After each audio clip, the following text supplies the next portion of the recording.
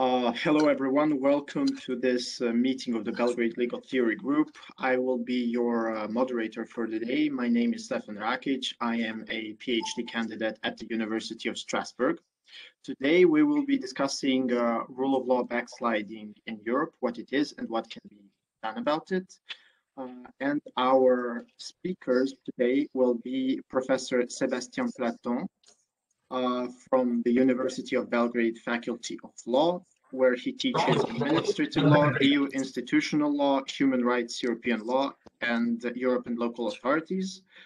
Uh, and the our second uh, guest for today will be uh, another distinguished uh, legal scholar in the field of uh, EU law. That is Professor Laurent Pech, who is a professor of European law. He's also Jean Monnet Chair uh, and uh, head of the Law and Politics Department at Middlesex University in the United Kingdom. So without any further ado, I would just like to ask uh, everyone who is joining the meeting to uh, please mute themselves and uh, you will have the opportunity to ask questions uh, when when it is time for discussion. Without any further ado, I would like to invite our speakers to take the word. Professors, please. Thank you very much, Stefan. Uh, so, dobro jutro, dobar dan. Uh, I think it's 12 in uh, Serbia. Um, so let me share my screen. Uh, we have a, a PowerPoint uh, presentations um, and hopefully uh, if you don't see it now let me launch it um, now it should be in a full screen mode uh, if uh, you can confirm this then I can get started Stefan can you see in the PowerPoint in full screen mode Yes, the PowerPoint is okay. indeed in full screen mode on my screen. Oh, okay, very good. So essentially, uh, we have uh, one hour together today. Uh, with Professor Platon, we have agreed to essentially uh, talk for about half an hour, more or less, and then we be happy to answer uh, questions for the other half, the second half of the session. Uh, we have divided the presentation uh, between the two of us as well. So Professor Platon is going to deal with the rule of law toolbox, so kind of the set of tools, instruments legal remedies uh, available to the EU to deal with uh, what uh, we have called the rule of law backsliding. My job, in fact, is to explain uh, both the concept of the rule of law first, and then to tell you a bit more about uh, what we mean by rule of law backsliding.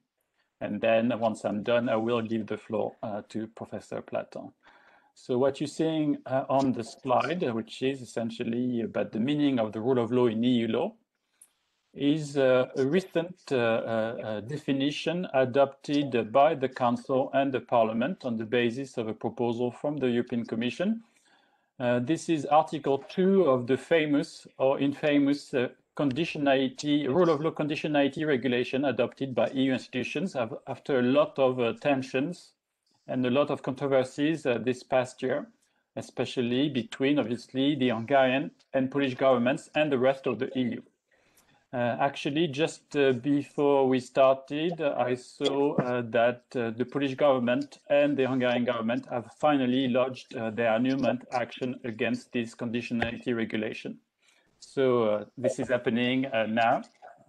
And this Article 2 you're reading, or you're looking at is part of this conditionality regulation, in a way, uh, there was no need for definition of the rule of law to be inserted into this regulation because we already know uh, the meaning, or we knew the meaning of the rule of law prior to this regulation being adopted.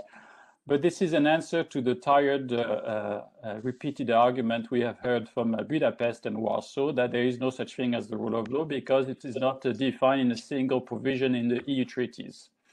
I mean, I'm happy to answer arguments about uh, this definitional issue, but uh, it is wrong to say that the rule of law was never defined in EU law. I mean, you just have to read the case law of the Court of Justice.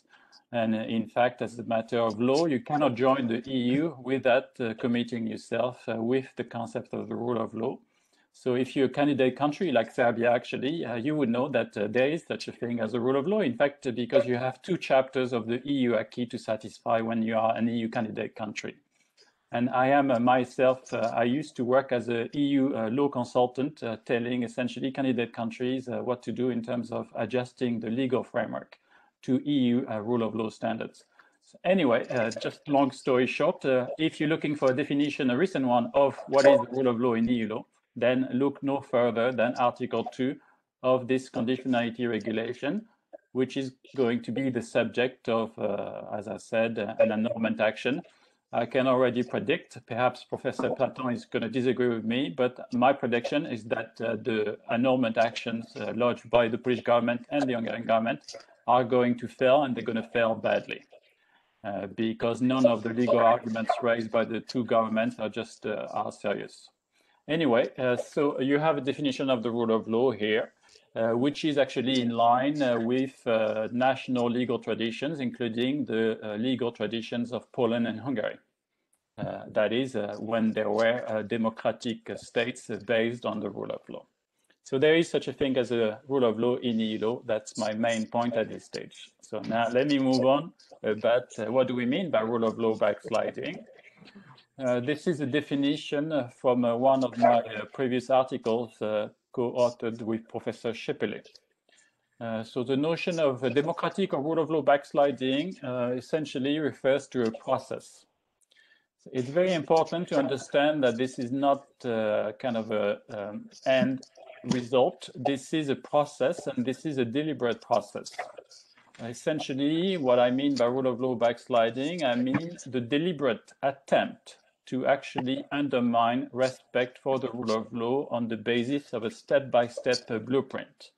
This uh, autocratic blueprint, to uh, in a different way, has been uh, has been implemented in Hungary and is being implemented in Poland. And arguably, perhaps I shouldn't make controversial statements about Serbia this morning, but arguably, uh, perhaps, uh, in fact, Serbia is one another one of the possible uh, case studies we have to pay attention when it comes to rule of law backsliding. This is a process essentially where you're trying not to improve compliance with the rule of law, but on the contrary, you deliberately undermine the rule of law as defined uh, on my previous slide.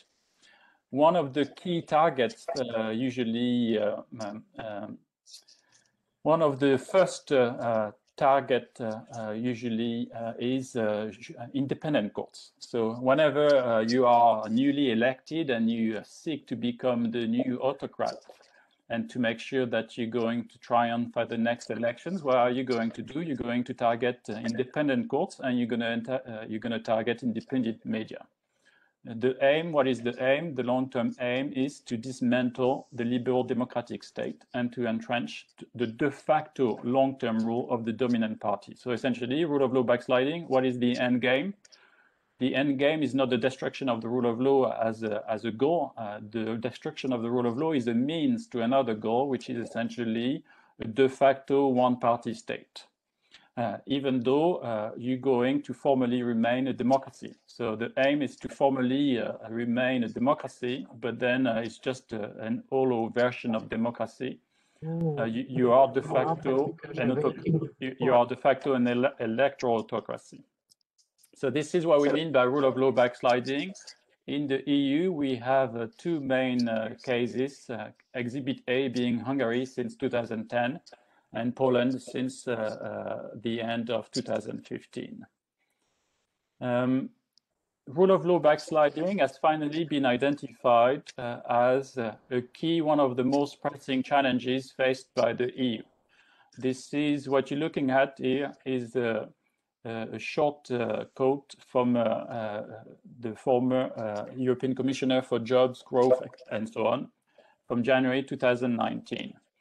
Uh, he mentioned uh, Romania in 2019, but Romania is no longer uh, engaged in the backsliding process, but he was. So he was correct to point out that Romania was similarly engaged in a rule of law backsliding between 2016 and 2018, or at least until there was a change of government. Interestingly enough, uh, in the case of Romania, uh, it was not a right-wing government, but a left-wing government uh, responsible for this process of rule of law backsliding. Uh, long story short, uh, there was there were elections, and then uh, the new right-wing government put an end to this process, deliberate process of undermining the rule of law. In the case of Romania, it was mostly about legalization of corruption. Uh, because essentially we are looking at the consolidation of a, of a, of a type of mafia state. in Romania for two years.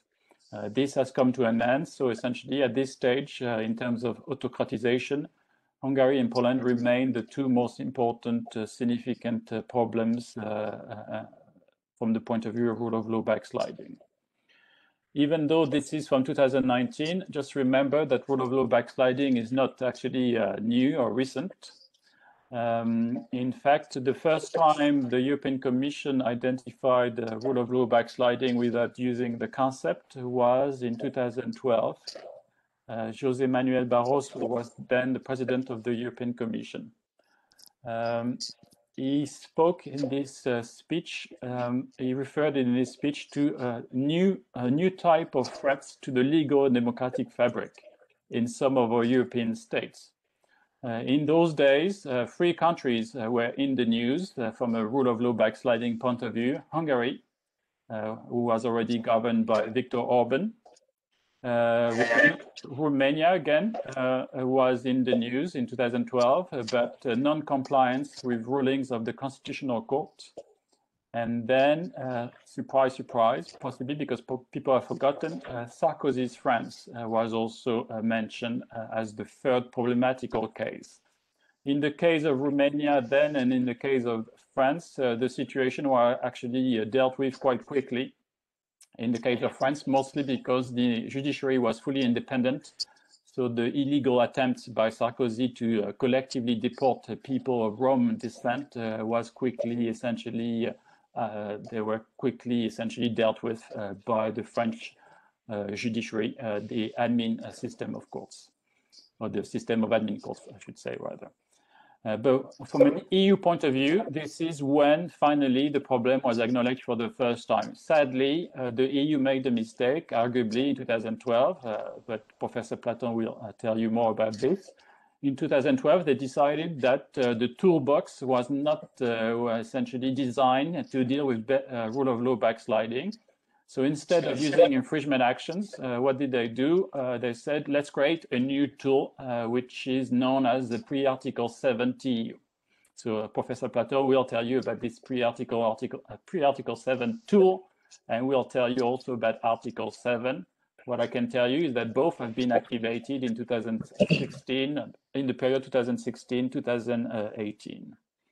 But it's very important to understand that rule of law backsliding is not new, has been going on for at least 10 years in the EU. Uh, now, why should we care about it uh, from an EU law point of view? Uh, because of the specific characteristics of EU law. What you're looking at here is uh, two paragraphs uh, from uh, um, essentially an opinion of the Court of Justice uh, describing essentially uh, very well, in my view, the interconnected nature of the EU legal system, meaning what's happening in Hungary, what's happening in Poland is affecting the functioning of the EU legal order because of the interconnected nature, the structured network of principles, rules, and mutually interdependent legal relations existing in the EU legal framework. This is why we cannot ignore uh, the situation in Poland and Hungary because it has a direct impact not only on the way EU law is shaped, defined, but also on the way EU law is enforced. Not only also we have to be mindful of the infringement of all the fundamental rights of Polish and Hungarian citizens, uh, obviously, in addition to being worried about the functioning of the EU legal system. But this is why we have to worry about rule of law backsliding. If you care about the functioning of the EU legal system, you cannot ignore a rule of law backsliding happening in specific individual countries because, to put it in a different way, we all in this uh, together. When you share a common legal system, you cannot ignore, obviously, uh, deliberate dismantlement of checks and balances happening at the local level. Uh, in a way, uh, the EU is very much a legal federation. So this is why you cannot ignore uh, dest the destruction of the rule of law because it means essentially federal law stops being applied in some specific countries. Now, uh, to end uh, my section uh, of the presentation, I just wanted us to possibly, I thought it'd be useful to visualize rule of law backsliding because otherwise you think possibly that it's too, too abstract. So one cannot really understand how bad the situation has gotten. Um, the worst uh, case of rule of law backsliding in the EU is by far Hungary, uh, to the extent that Hungary is no longer considered a democracy. So we have at least one EU member state uh, which has stopped being recognized as a democracy uh, since 2019. This is a fundamental violation of EU treaties because EU membership is only available to democratic states. So we have one country fully uh, in, in, full violation of the basic condition governing EU membership, which is to be a democratic based on the rule of law. Hungary now is uh, more regularly described as an electoral autocracy or hybrid regime. So what is not uh, for sure, it is not anymore a democracy based on the rule of law. Uh, but uh, sadly, uh, Hungary is not the only country worth mentioning when it comes to autocratization. A very long word, but essentially, uh, autocratization, I mean the process of rule of law backsliding. Uh, Poland is one of the worst uh, uh, countries in the world in terms of autocratization if you start, if you use 2015 as a starting date. You can see also Serbia here, uh, uh, minus 6.2% when it comes to the benchmark known as constraints on government powers. This is, by the way, from the World Justice Project Rule of Law Index. That's the 2020 edition of the World Justice Project. Uh, so the most sophisticated uh, uh, annual uh, rule of law uh, measurement index.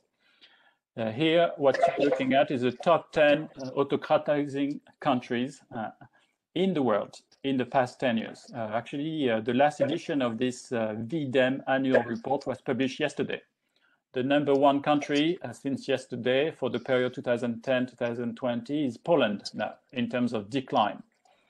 Uh, but look at Hungary, it is now uh, like Turkey considered an electoral autocracy. So essentially, but Turkey, unlike, the, unlike Hungary, is not a member of the EU.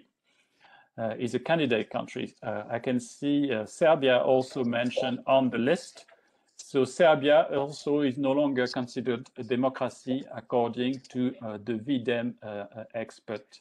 The last uh, uh report uh, for 2021 was published yesterday. If you're interested, there's plenty of data. But it means also that Turkey, like Serbia, obviously should not, I, I, would say, we should, EU membership discussion, if anything, are not going to go anywhere because Serbia and Turkey are both in fundamental breach of the basic EU membership condition, which is to be a democracy based on the rule of law. Uh, I'm just the messenger here, by the way. This is not my data. This is the data from the World Justice Project and uh, the uh, VDEM, so-called VDEM uh, project, which is the largest network of democracy experts, as far as I know.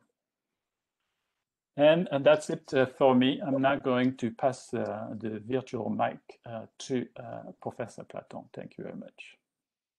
Thank you very much, Laurent. Uh, I'm, I'm not very used to uh, WebEx, but I, I see an icon that allows me to take control of the slide. Yeah, otherwise I, I can, otherwise, Sébastien, I can be your, your personal assistant. Oh, I, I would hate giving you order. I, I don't feel like I, I have the legitimacy. Okay, yeah, yeah. I have now given you control, I think. There you go. I'd rather have that. Uh, so how does it work then? Uh, not sure I see how I change. So you are now controlling my screen.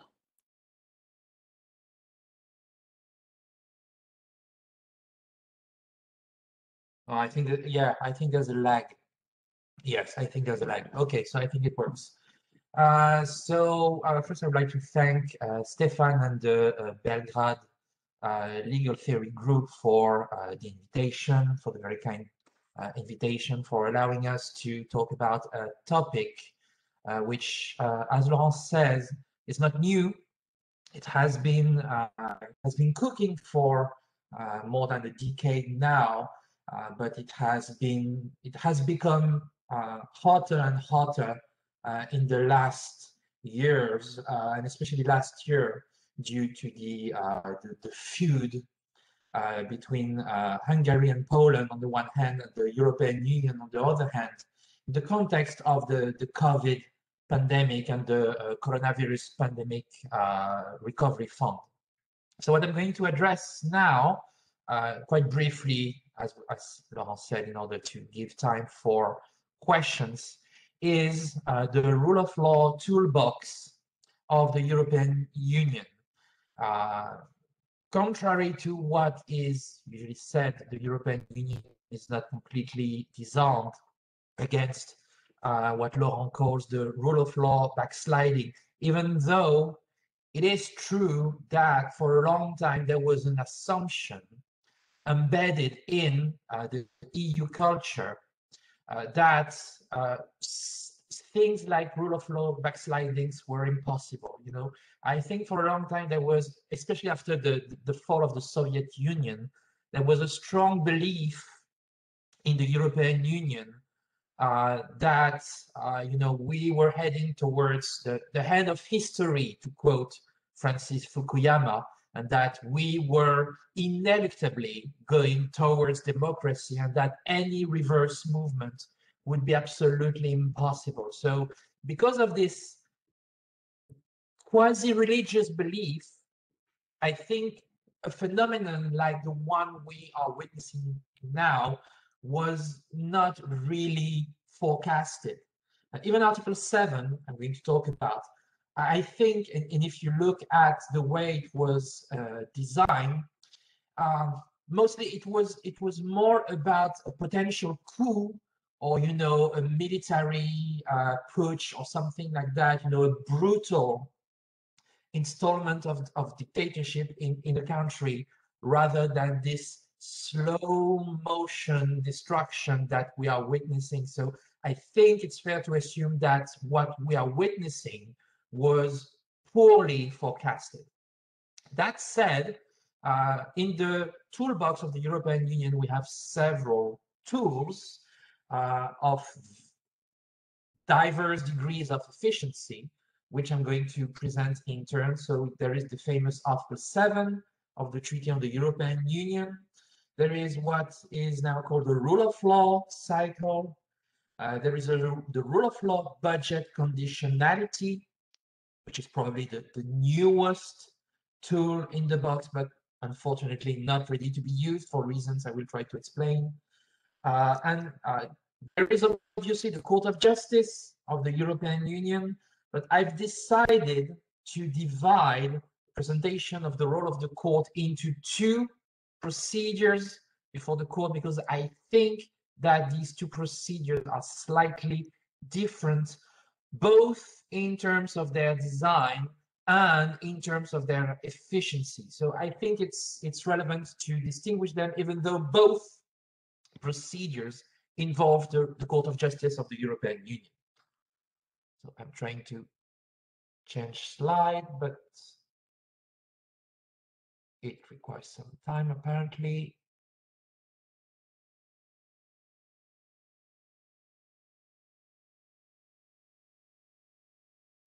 Doesn't seem to work.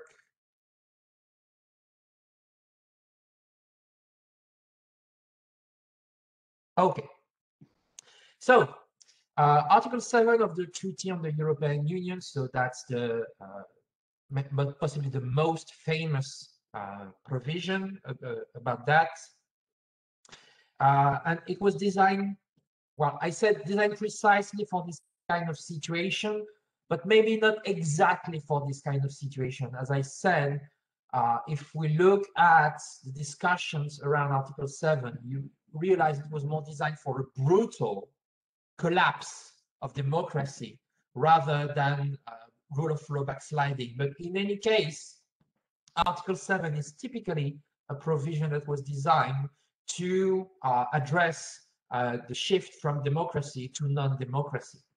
Uh, and it is divided into two procedures which are, I think it's important to uh, insist on that, they are independent from one another. Uh, we, you can activate Article 7, 2, and 3 directly without first activating uh, activating 7.1. I think it's important to emphasize that. So Article 7 paragraph one, that's the preventive uh, procedure when there is a clear risk of a serious breach of European values. Uh, and uh, in order for this statement to be made requires four-fifths of the member states minus, of course, the member state involved. It's just a statement, so it's just about signaling an issue. Uh, there's no sanction attached to this uh, first part. Then you have Article 7, 2, and 3. And again, I insist, it looks like a process. It's not, okay? You can go directly to 7, 2, and 3 without, without activating 7, 1 first. The two are uh, independent. Uh, Article 7, 2, and 3 are about uh, a serious and persistent breach of EU values. It requires unanimity minus, of course, the member state involved. And this is the one having potential teeth because it can lead to suspension of rights of the member state involved. Uh, mostly, it's about the right to vote in council, uh, but it's an open list, so other rights might be suspended, like the right to uh, funds, the right to uh, European arrest warrants. You know, we don't know exactly what is a right of a member state, okay? Uh, but we know at least that the right to vote in council is one of the rights that can be suspended. And as Laurent said, in Article 2014, there was a pre-Article 7 procedure that was created by the European Commission.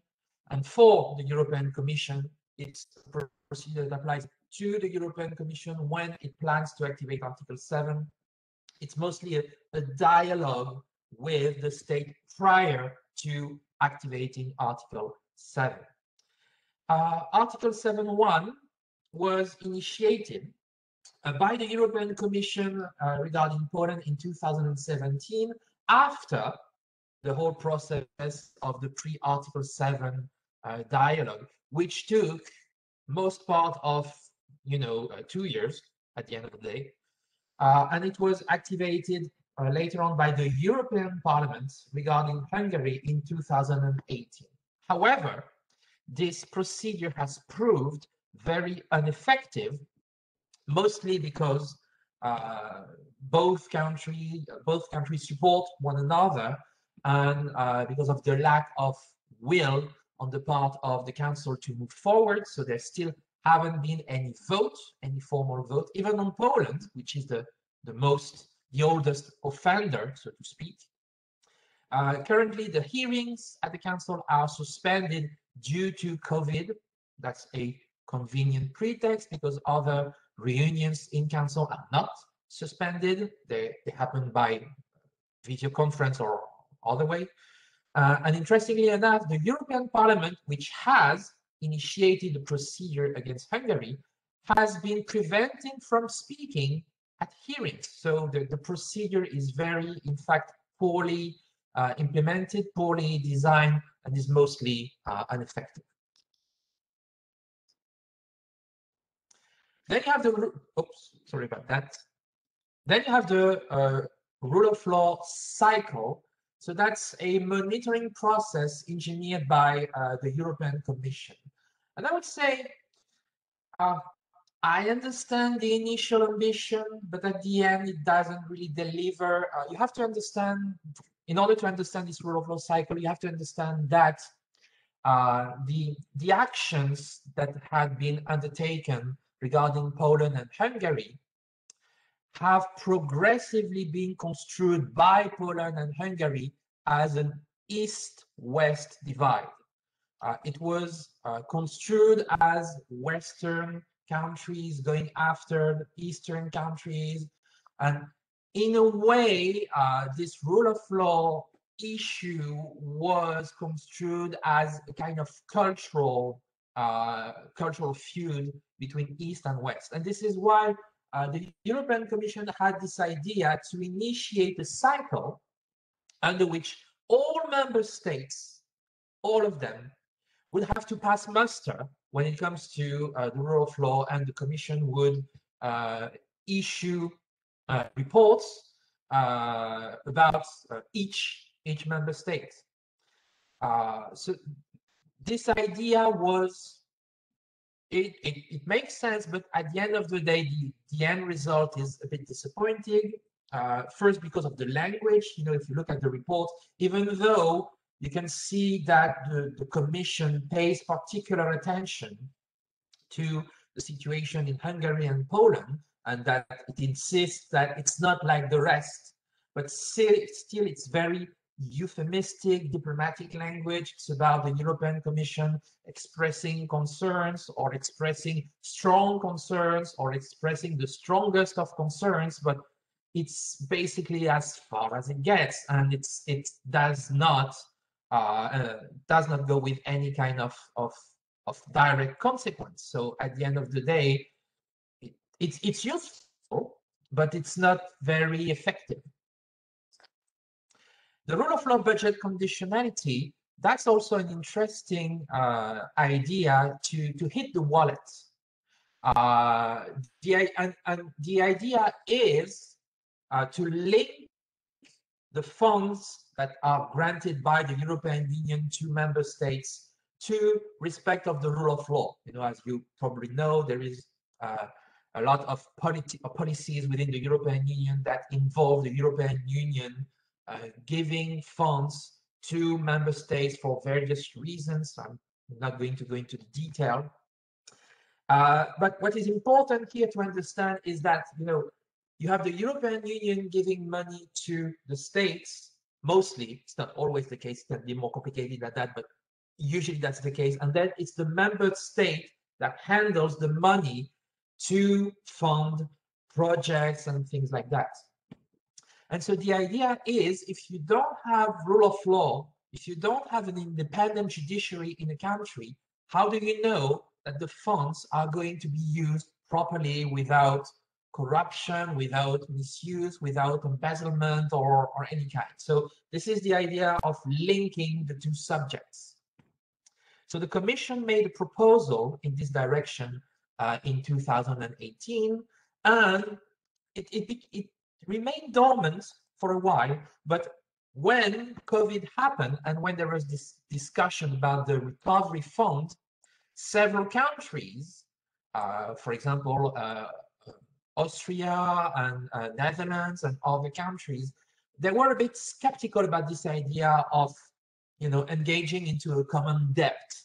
Okay, they didn't like this, this idea. Uh, these countries were called the frugals because they, they are known for their fiscal austerity and for their reluctance to public expense. And these frugals made the rule of law budget conditionality a condition for the acceptance of the COVID recovery pack. Uh, but the thing is, uh, by the end of the year, uh, Hungary and Poland threatened to veto uh, the recovery fund and something called the multi-annual financial framework, which is the, as the name suggests, the multi-annual financial program of the European Union. Now, bear with me here. Uh, even though the proposal of the Commission only required a majority in Council, so it could have passed despite the veto of Hungary and Poland, right? The Recovery Fund and the multi-annual financial framework required unanimity. So the link between the two subjects allowed Hungary and Poland to threaten to oppose their veto, even though they were going to be recipients of the recovery fund and of the multi-annual financial framework, but they put that as a matter of principle. And because of that, uh, the, the proposal was progressively watered down. First, by the German presidency, which removed the teeth of the proposal uh, by abandoning first the what we call the reversed qualified majority voting. That was that the commission was to propose suspension, and this proposal was supposed to be uh, adopted unless the council at a majority reversed the proposal.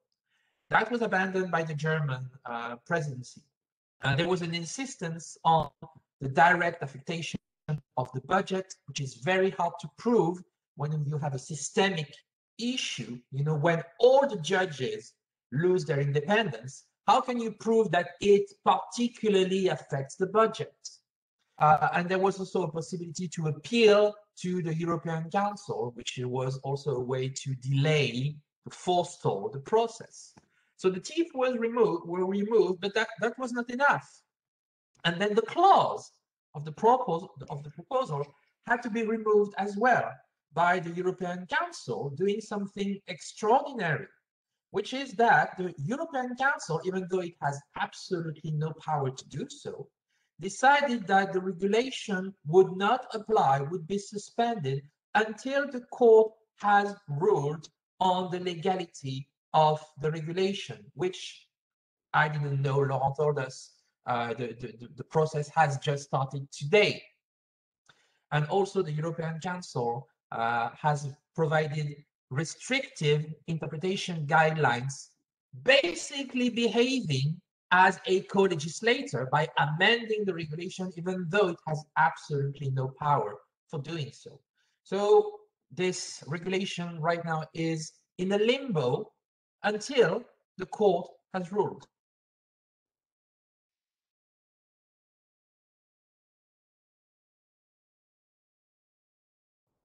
Okay.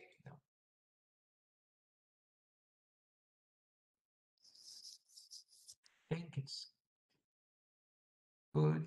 Uh, kind of a lag.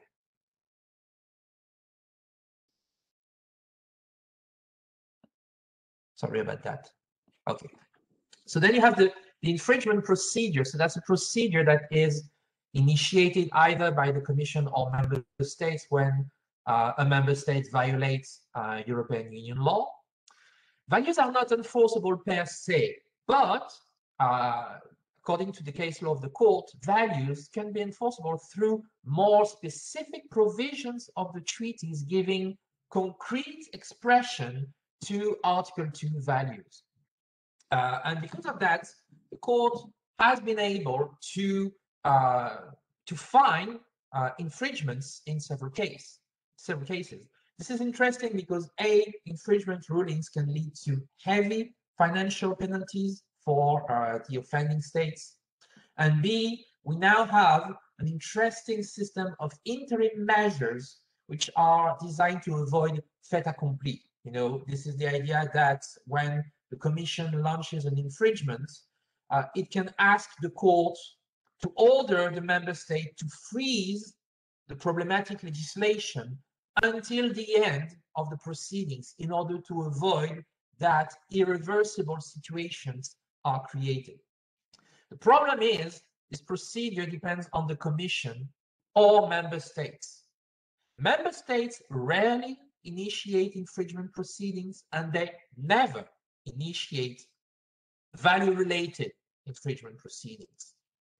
There was an attempt recently by the Dutch parliament to push the Dutch government to do so, but at the end, you know, it didn't happen mostly due to the situation, the, the, the, political situation in Netherlands. Uh, and the Commission, well, the problem with the Commission is that, to put it mildly, and I think Laurent would be much more severe and much less euphemistic than me, the Commission lacks both a systemic vision and reactivity. Systemic vision because the Commission the Commission will go after a particular provision, even though in fact it's a system. You know, those governments, they create a flurry of legislations which are interrelated. And if you take each legislation independently, you might say, well, it's not a big deal. But when you put them together, you realize that it is a design, there is a pattern. And the commission being in situation of nitpicking, of you know, going after a particular legislation fails to embrace the full picture. And reactivity, well, what we have seen is that when member states violate orders and rulings of the court, even though the European Commission has plenty of ways to address this kind of situation, the European Commission doesn't. Uh, we know that several orders and rulings of the court has been uh, not complied with, and yet the European Commission took all its time to react, and sometimes not reacting the, the right way. I can't go into the detail of that, but if there are questions, I will be uh, happy to uh, elaborate. And then you have the preliminary ruling procedure, and that will be my final point. So that's a procedure, a cooperation procedure between national courts and the Court of Justice. So whenever a court of a national court has to deal with EU law issue, they can call the Court of Justice to provide interpretation. The good thing is that it does not require the Commission or member state's government. It can be used by national courts of problematic member states or even by national courts of other member states when EU law requires cooperations uh, between national authorities. We have seen famously, for example, an Irish court and a Dutch court, you know, putting this question uh, before the Court of Justice because they were called by a Polish judicial authority to uh, surrender a, a, a, Polish citizen for uh, for trial. Okay, so this is very interesting. Until recently, the court has been rather timid under this procedure. And very recently, as a matter of fact, I, I, I had written a piece in which I was, you know, a bit severe with the court. However, and I'm, I'm not, I don't know if Laurent will agree with me, I feel that the, the recent ruling of the court in AB uh, on the 2nd March of 2021, so just a few days ago, could be a, a, game changer in this context. So this was a game about, I won't go into the details, it's a very interesting ruling. It was about uh, the remedies available against the appointment of judges at the Supreme Court. It's a bit more complicated than that, but that's the idea. Uh, and what I find interesting is that the court goes as far as possible in the determination of a violation of EU law and the consequences to be drawn by the referring court. Usually the Court of Justice, you know, tends to say, you know, it's for the national court to determine the issue, it's for the national court to settle the dispute, I will provide elements, but that's not for me to judge the situation. I provide elements, but I'm not judging. Here, I think it's very, it will be, would be very, very hard for the Polish government to deny that the court clearly hints at a violation. It would not be a first, though, because uh, some time ago, the, the, the court in a ruling AK went as well very far in such a determination, and it did not prevent the Polish government from denying the obvious. So we will see. But what I find interesting, and that will be my final uh, statement, is that the court does not assess the national provision at stake isolately, but in the global context of rule of law backsliding. You know, through this problem of uh, remedies against appointment of judges, the court pulls the thread and manages to shed the light over the whole problems of disciplinary proceedings against judges, the absence of independence of the National Council of the Judiciary. You know, putting one thread, the court manages to shed the light on the whole picture. And I find it very interesting, and uh, I, I wonder if Laurent will agree with me or not, but I wonder if it's not a sign that the court is willing to address what some scholars have called systemic infringements. The idea that infringement procedures could be launched not against a particular legislation, but against a whole system of legislation intertwined and linked between one another by a pattern and a design and an aim at affecting the EU values. So I'm wondering if this ruling is a signal that the court is willing to address that. Thank you for your attention. Thank you, Professor Pech and P Professor Platon, for a very instructive presentation. We all enjoyed it uh, very much. I mean, that is the reason why we invited you, and you sure did not disappoint. So I would like to ask our audience uh, if they have any questions, you can do so. You can uh, ask uh, for the virtual microphone by raising your virtual hand by hovering over your name in the participants list. You should see a little hand raised. We already have one question. That is from uh, our Teodora Milojkovic. She is a PhD candidate at the Central European University, first in Budapest, now in Vienna. Teodora, you have the word. Thank you, Stefan. Just, do you hear me well? Mm -hmm. Yes. Okay. Great. Yes. Great. Uh, thank you a lot, professors, for this uh, presentation. Um, I hope you don't mind. I, I, have a lot of questions since I'm, um, you know, closely involved in this research. So I'll start with, firstly, I will start with soft law instruments. So as we know, the new rule of law report um, should be uh, released in, I think, July this year. So as several scholars mentioned uh, in relation to the previous rule of law report, the methodology of the commission in the report was not really, um, let's say, reflecting the real issues in Hungary and Poland specifically, but also not even in other member states. So my question is, Prof Professor Bard, for example, really uh, elaborated on that uh, in detail. My question is, do you think that the methodology in the rule of law reports might change this year? And do you think that could have any, uh, let's say, uh, better effect than the previous report? Uh, second question is also in regard to the rule of law report. Um, as Commission stated in several instances, uh, the rule of law reports are not a form of retaliation towards Hungary and Poland. They apply equally to all member states.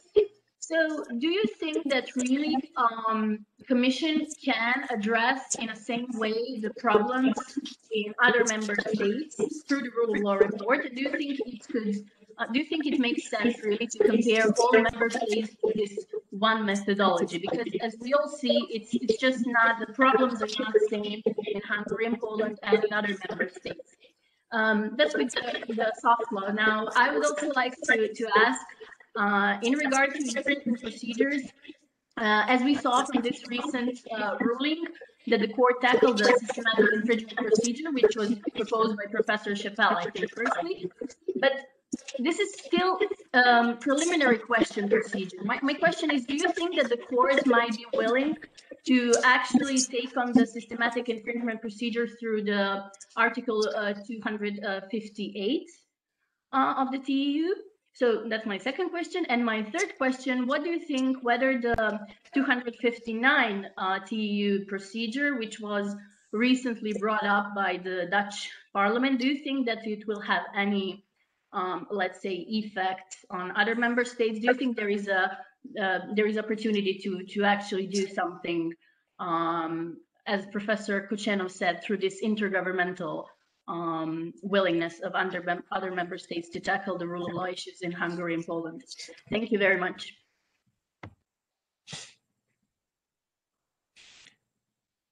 Uh, sh should we answer or take more questions?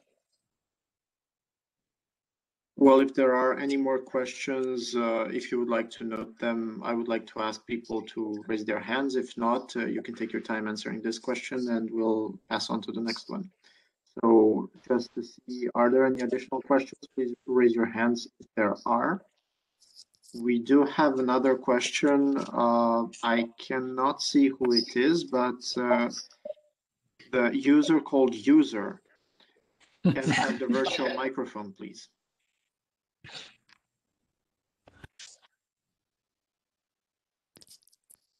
Uh, I'm sorry, you're still muted. There we go. Yes, Uh, it's working.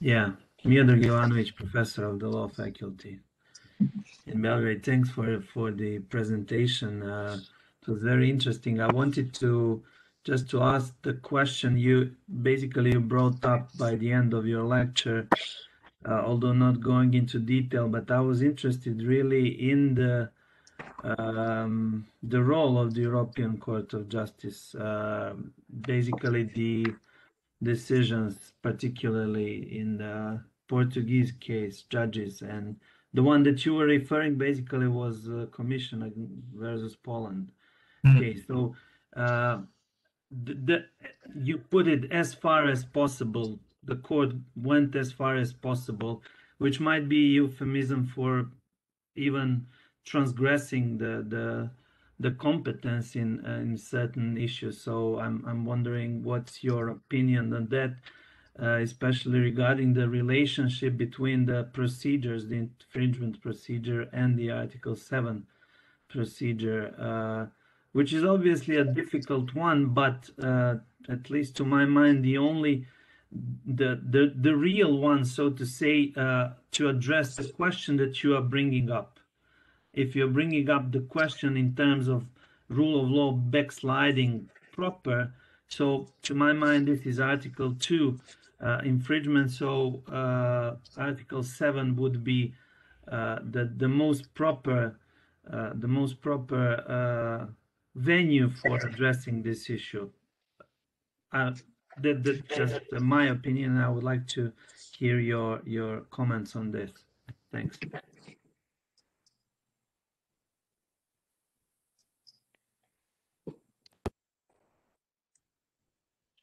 Um, should we start answering questions or should we get more questions? I suggest we get any more questions if there are some. Anybody who wants to ask one, raise your hands now, please. Well, for now, I don't see any raised hands, so I would allow myself to ask you a question.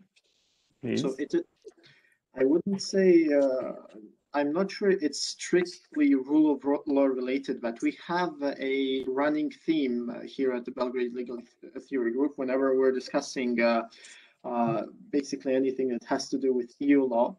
We are um, discussing about the PSPP affair uh, and the argument that exists between the German Constitutional Court and the European Court of Justice in Luxembourg. I would um, uh, there is like there is this discussion of about uh, about the primacy of EU law. So whether national constitutional provisions uh, whether uh, what, what's the relation between national constitutional provisions and the EU law. So uh, I would say that they uh, fall under the primacy. So the, the EU law has prim primacy even over national constitutional provisions because, uh, well, that stems from even from the uh, Costa ruling that does not differentiate between uh, constitutional and ordinary legal norms. And again, like even uh, when we're talking about um, the Treaty of Lisbon, we need to remind ourselves that this treaty it is a repealing treaty, not an amending treaty, because the Lisbon European Union is a successor of the Maastricht one. So by ratifying the Lisbon Treaty and by accepting the entire uh, EU legal acquis, uh, the member states accepted uh, the, the entirety of EU legal order as is. And therefore, I would say that uh, even uh, national constitutional provisions are subject to EU primacy. And then again, the, uh, the equal application of EU law is important uh, in terms of, uh, of the rule of law, because if the decisions of the European Court of Justice or EU legal instruments are not applied uh, in an equal manner in all member states. That can lead to the fact, uh, to, for example, to the circumstance that uh, we have, um, for example, I'm banalizing, we have, I don't know, a problem in Poland which is contrary to a situation in Poland, which is clearly contrary to EU law. The Court of Justice does uh, make its decision, but uh, the Polish court, the Polish Supreme Court, for example, says, oh, that is contrary to our national constitution our constitution has supremacy, so therefore we will not uh, execute the uh, ECJ decision. I'm banalizing, but however unlikely, uh, there are some chances of such a scenario happening. So I would like to know what's your opinion and what's your position on the issue. Thank you. Can I answer first? That way I can leave the difficult questions to Sébastien and I can answer the easy questions instead. I like to do that. Uh, plus, I spoke first. So I guess well, we you have to give me the floor first. I think, Stefan. Do you agree? Well, then go ahead by all means. so thank you very much. Uh, I'll start with the questions regarding the rule of law report. Um, uh, so thank you for uh, the questions. You're raising uh, difficult questions. Um, you mentioned uh, the art, uh, so the writings by Petra. I actually agree with Professor Bard. I don't know if you've seen my analysis of the shortcomings of the rule of law report, but essentially I'm very much in line with Petra Bard on this. I can share, I can use the chat function to share links once I'm done answering the questions. Uh, but you said, uh, so what you said about the methodology, essentially there is no methodology. Uh, so, uh, uh, I mean, we're lawyers, so we don't do methodology anyway. so we look at the law on the books and the law as the way it is applied. But uh, you do uh, more seriously, yes, uh, essentially, yeah, this was the first edition. So I think this is work in progress. Uh, I don't expect any uh, answers to the shortcomings that some of us have identified until the third edition, which is 2022. Uh, I also agree with your point about whether we are comparing essentially um, the same objects. Uh, we not, in my view, uh, in some instances. We cannot compare, for instance, Hungary to the rest of the EU because Hungary is no longer a democracy. So you're comparing two different objects. You cannot compare an electoral autocracy and uh, democracies. Uh, so the, the, type of shortcomings from the rule of law point of view do not have the same meaning and the same consequences when the system overall has already been corrupted to the point that uh, you no longer in a democracy category. Uh, I said that we were comparing no longer oranges with apples, uh, we were comparing oranges with uh, poison mushrooms. I think that's the expression I used uh, on this particular point. Regarding the infringement procedure, very quickly, uh, the Court of Justice can only act if it does receive uh, infringement action. The problem we're facing here is that the Commission has been just not doing its job properly in terms of bringing infringement actions. I can give you a list of about 10 infringement actions we should be bringing right now regarding the situation of Poland and Hungary. There are multiple reasons, um, mostly non of a non-legal nature, explaining why the Commission is so reluctant to sue uh, member states when they violate the rule of law. Regarding the role of the Court of Justice, uh, very briefly, I'm sure uh, uh Sébastien will answer this point too.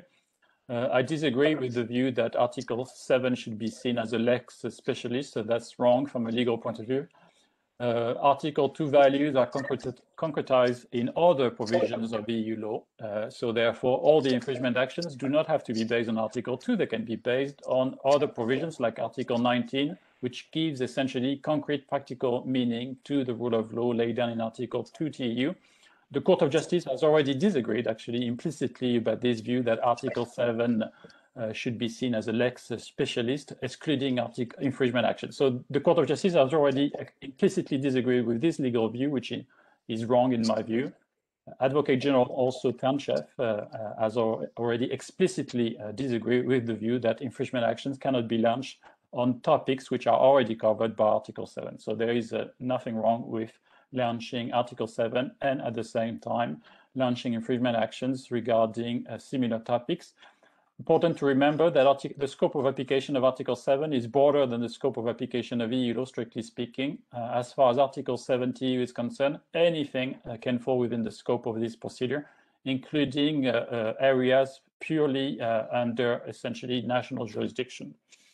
And regarding the primacy of EU law, which is a difficult question, I'm just going to uh, leave that to Professor Platon about the German ruling.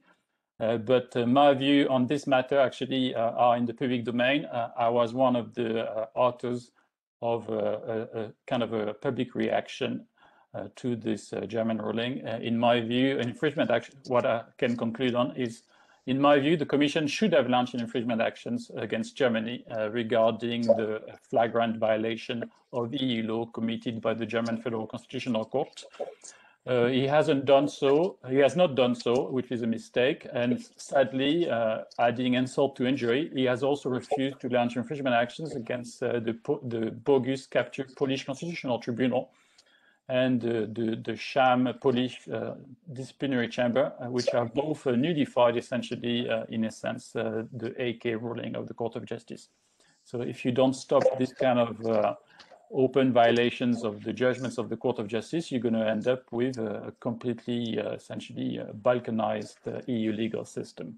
So thank you very much.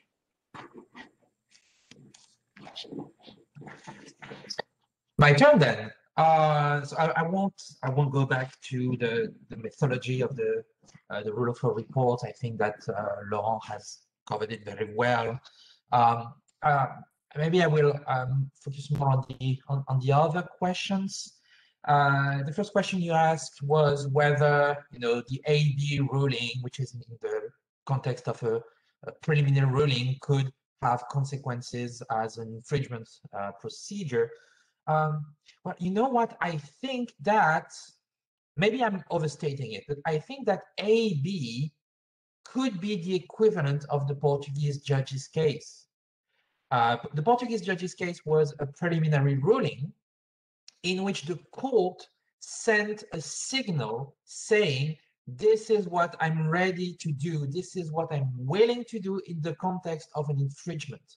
And I, I saw I see that as a signal. And I think that in AB, the court is doing exactly the same thing. It's using the preliminary reference procedure to send a message. This is what I'm willing to do. And I think it can have an impact on the commission. I think Laurent is right that for political reasons, the commission is reluctant to acting. However, the Portuguese judge's case allowed the Commission to act. And I think what's also important is that by, if I'm right, that the court is admitting its willingness to address systemic infringements, then by doing so, the court prevents the European Commission from using the argument that such infringements are impossible. The European Commission likes to hide behind legality. The Commission likes to say, I can't do that because it has no chance of success. You know, that's the strategy of the commission. The commission does not go for an infringement if it's not sure to win. And the commission can say, I, I don't want to go for an, a systemic infringement because, you know, this is all scholarship, blah, blah, blah. This is all an, an invention of scholars, etc. But it has no chance of success and I will lose. If the court itself says, no, no, please come. I'm ready to address infringements in context, in system, because they form a pattern and there is a design and there is a clear aim, then the European Commission is deprived of an argument for not acting. So I think it's some, I, I don't know, I, I, I don't predict the future, right? But I think it kind of adds to the general pressure over the Commission to do something. For your question about member states and infringement, I, I think the occasion is lost, really. Um, I, I, I thought there was a momentum when the Dutch when the Dutch Parliament pushed towards that, when the Dutch Parliament voted this motion to ask its government to act in this direction.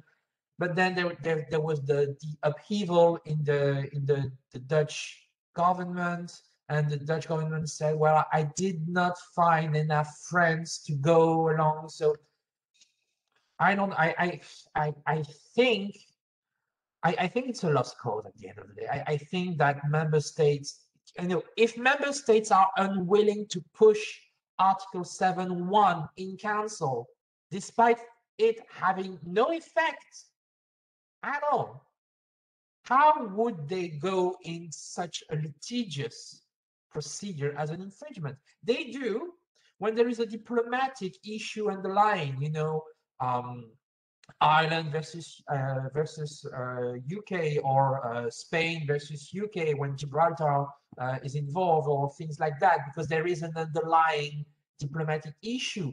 But for the sake of values, I'm not sure that any government is willing, and unless there would be a strong political pressure inside, the domestic political pressure inside to do so. But I, am not sure that uh, any government or any set of government would be willing to go forward. There, there's, there, I think they will assess that there's there's not enough to win politically, and there's too much to lose politically. So I I, I have my doubts really uh, about you know Article Seven versus infringement. I, I completely agree with uh, with Laurent. Uh, I, I, think you can only use the the, the lex specialis uh, principle when there is a clear contradiction between the two provisions. But with Article 7, we have a political procedure. Uh, infringement is a judicial procedure, so that's not the same thing. Uh, the outcome is different. Uh, suspension of rights in one case, and the other case, you know, finding of infringements with possible uh, financial penalties.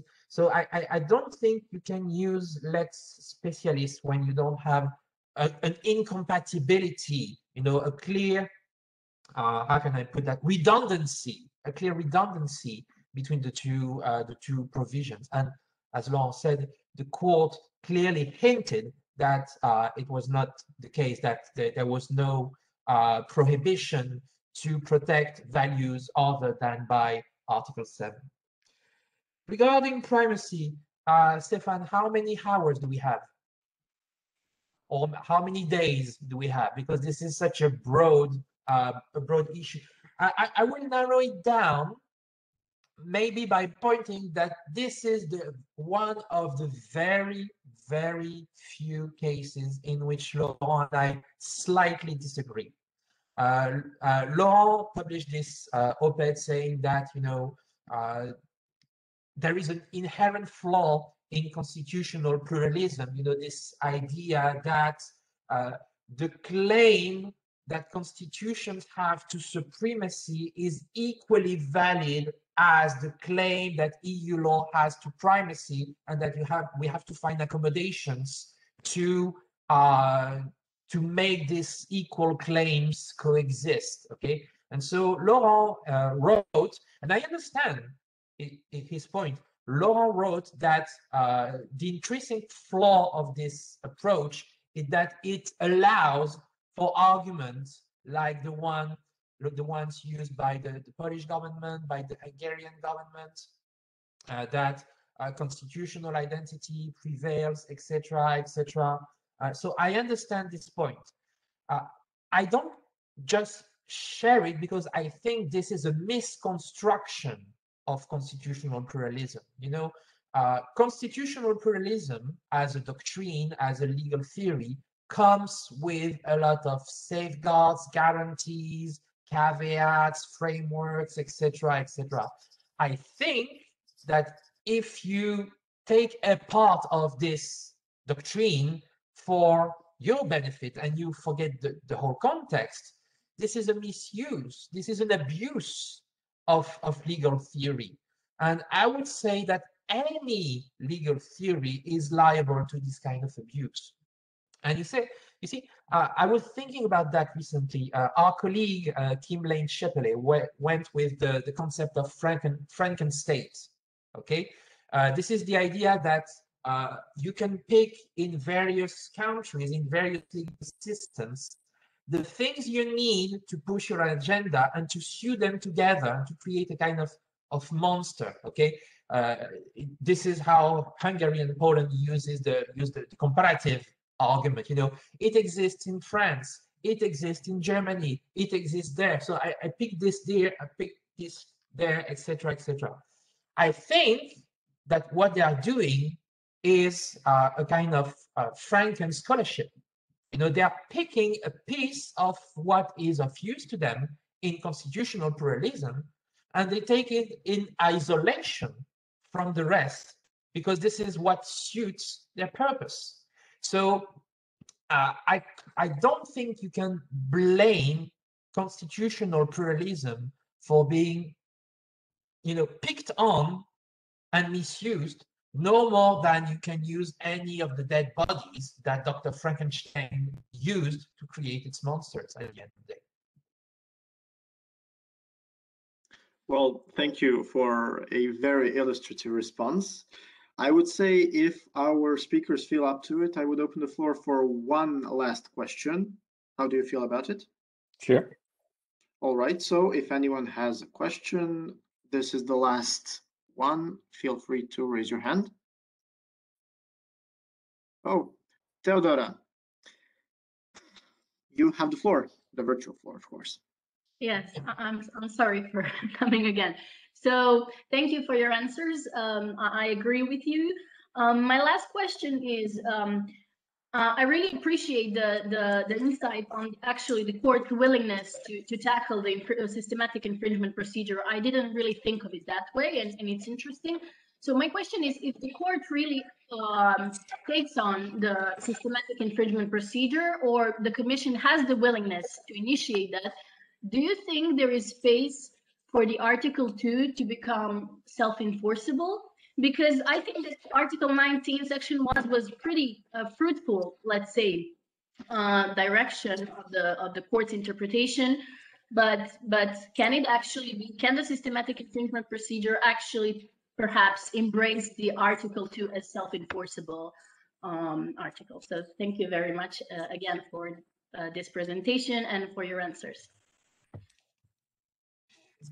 Laurent, shall I go? Uh, I can go very quickly, and then uh, that way it's easier again. so thank you. Uh, very quickly, actually, uh, uh, there is no need to make Article 2 self-enforceable uh, because all of the values contained in Article 2 actually are detailed elsewhere in EU primary law. So already there is no need. you can launch infringement actions based on all the provisions of the TEU, TFEU, and the Charter. Uh, regarding systemic infringement actions, actually, uh, a point which perhaps is worth mentioning. Uh, it has already been done by the Court of Justice in the context of a case I know well because I was working in Ireland then. It was to, it had something to do with the systemic violation of EU law regarding dump sites in Ireland. And then the court answered this in a systemic, so faced with a, a systemic violation of EU environmental law, it's not very ro romantic. It's about uh, dump sites, so essentially trash uh, sites all over the country in breach of EU law. And uh, interestingly enough, possibly for the first time, the Court of Justice dealt with all of the violations together in one infringement action, emphasizing the bad faith of the Irish government in terms of denying the existence of this systemic uh, pattern. Yet, So my point is what uh, Kim, uh, Dimitri, Barbara are arguing actually uh, is nothing really new we just have to export it from the area of EU environmental law to the EU uh, law relating to EU values and principles. The problem is not that the court is not willing to do that. The problem is that the commission is, uh, again, uh, just uh, acting in a way which is always about uh, five years too late. Uh, so uh, essentially what we need is a commission to be a bit more original and innovative and brave in, in its legal thinking. Otherwise, the Court of Justice cannot help really unless the Court of Justice does receive the right cases under Article 258 with the right legal arguments presented to the Court of Justice.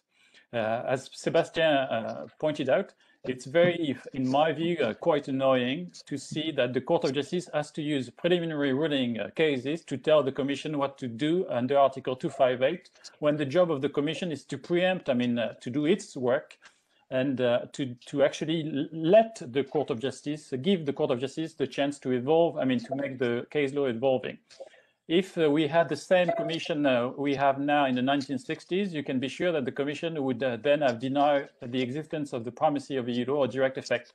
So, I mean, uh, this is just beyond me that after 10 years of rule of law backsliding, uh, the commission is still sticking to a very narrow, conservative uh, approach to the EU infringement procedure. I could go on and on and rant for hours, but I'm going to stop there. Uh, yeah, I'm, I'm just going to, to add uh, about, about European values. Are European values liable to be self-enforceable? I, I have to say I doubt it, and just like Laurent, I don't think it's it's needed. Uh, I think it's a Rubicon that the court is not willing to cross uh, because this, you know, we're talking about very broad provisions, uh, very hard to flesh out. But I have to say, I kind of like, recently I, I, I was reading a piece by uh, Luke Dimitrios Spieker uh, and he was developing an interesting concept of mutual amplification.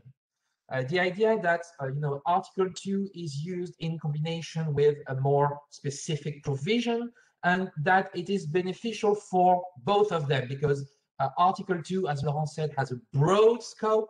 So uh, the, this broad scope, scope of application can be transferred to the uh, more specific provision and the specific provision in return uh, can be given more uh, breadth substantially by being uh, used in light of European values. So I kind of like this idea of mutual amplification. I think that there's a lot of provisions in the treaties that can be used in relation with all the values that are in Article 2.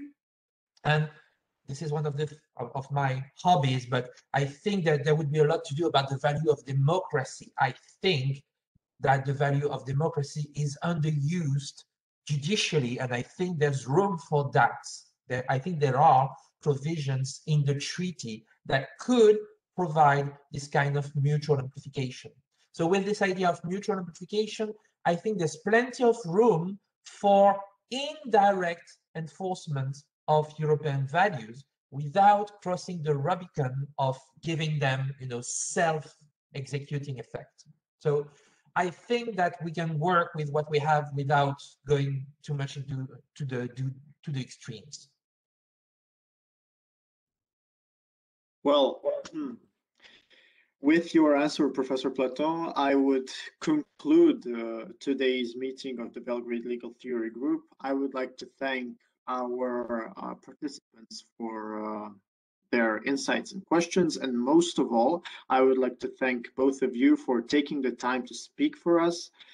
You have uh, actually uh, more than justified our uh, our pick. So we are very glad to have you. And uh, we hope to have you, of course, again, hopefully in Belgrade. So uh, Professor Pech uh, could. Fingers crossed. Yes. I can practice my Serbian that way. Of course, yes, and you you can learn the rest of the Cyrillic alphabet that way as well. I did try, but yeah, uh, yes. Well, yes. Uh, with that being said, uh, Thank you. And uh, the video of this meeting will be available on our YouTube channel shortly. Do not hesitate uh, to uh, give us a follow or a like. We're a few, but we are a significant bunch, right? Yes. Thank you very much. Bye, You're welcome. Have a good day.